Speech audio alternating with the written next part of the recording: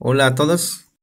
Por medio de este video queremos compartirles pronunciaciones y escritos de ejemplos de algunas partes de una casa. En la parte superior tenemos ilan ya. Partes de una casa o nombres de las partes de una casa. Yanda ya, que sería ventana. Ni yanda cuarto para dormir o dormitorio.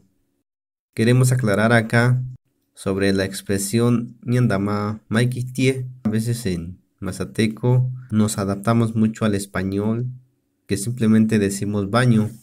Sin embargo, hay muchas formas de decir en mazateco, que uno de los ejemplos es Nyandama Maikitie. De igual manera, esta palabra a veces es un tabú o a veces la gente siente rechazada decir eso y opta por cambiar expresiones, por ejemplo, ñandama maikzane o ñandama minje, dependiendo también si es hombre o mujer. También tenemos niyayanda sindatsomi, que sería la cocina. Esta vez quisimos adaptar niyayanda sindatsomi.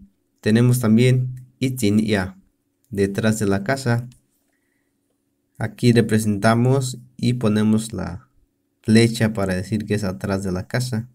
También tenemos ya, Dizin, que es el patio de la casa o el patio. Tenemos Nyanda Bichie, Nyanda Bichie niño, Nyanda Jinenge niño, que es el comedor. Tenemos también Shitowa, ya, que sería la puerta de la casa. Shinde, tenemos a la pared o los adobes. También tenemos como parte de una casa Atsania, que es la azotea de la casa. Por esta vez, así terminamos con las pronunciaciones de las partes de una casa y agradecemos las ilustraciones de la estudiante Berenice Andrade Jiménez, en el cual nos basamos para este video.